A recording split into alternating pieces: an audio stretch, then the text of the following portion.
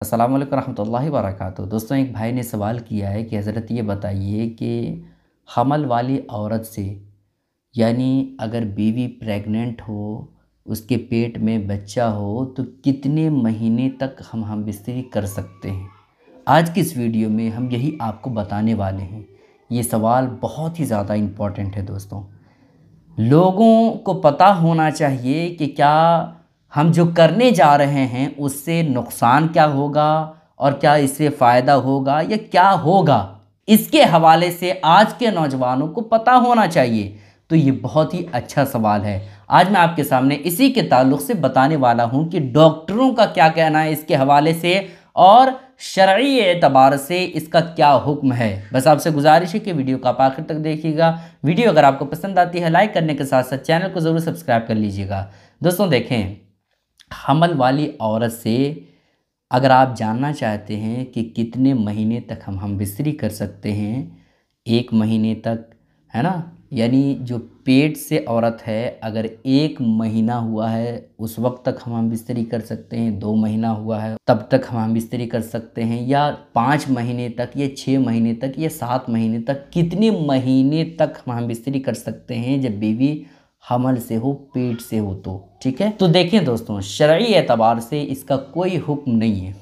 मज़हब इस्लाम में ये नहीं कहा गया है कि अगर बीवी एक महीना प्रेग्नेंट होने में हुई है तो बस एक ही महीने तक हम बिस्तरी कर सकते हैं, या पाँच महीना बीवी जो है, पेट से है तो पाँच महीने के अंदर ही तक हम बिस्तरी कर सकते हैं या छः महीने के अंदर तक ही बीवी से हम बिस्तरी कर सकते हैं, उसके बाद सातवें महीने से बीवी से हम बिस्तरी नहीं कर सकते हैं। ऐसा कुछ भी मज़हब इस्लाम में ज़िक्र नहीं है।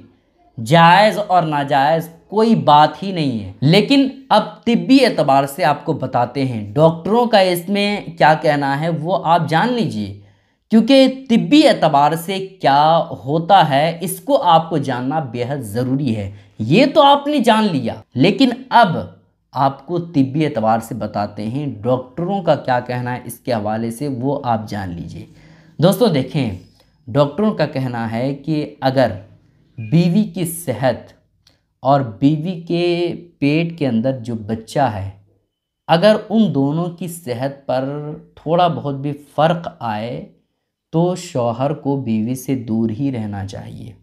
प्रेग्नेंट की हालत में जब बीवी हो तो ठीक है? ऐसा डॉक्टर क्यों कहते हैं? इस वजह से क्योंकि जब शौहर बीवी के ऊपर आता है तो उससे बीवी की सेहत और बच्चे, बच्चा जो है वो दबने का ये अंदेशा होता है, जिसकी वजह से डॉक्टरों का कहना है कि जब बीवी प्रेग्नेंट हो तो शौहर को दूर रहना चाहिए, बीवी से बीवी से हम बिस्तरी नहीं करना चाहिए। इस वजह से आपने देखा होगा कि जब बीवी डॉक्टर के पास जाती है प्रेग्नेंट की हालत में तो डॉक्टर ये पहले से आगाह कर देता है कि आपको शौहर से दूर रहना है।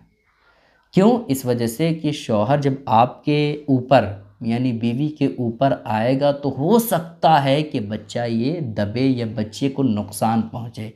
इस वजह से बेहतर ये है कि हमल की हालत में जब बीवी प्रेग्नेंट हो तो उसे उस हालत में बीवी से हम बिस्तरी नहीं करना चाहिए। ये तबीबों का कहना है, डॉक्टरों का कहना है। ठीक है दोस्तों तो आप इन बातों का ख्याल रखें। गुजारिश करता हूँ दोस्तों कि इसके लिए पुशार करें ताकि सारे लोगों को ये अहम बातें मालूम हो जाए और वो ये गलती ना करें। असल वरहमल वर्क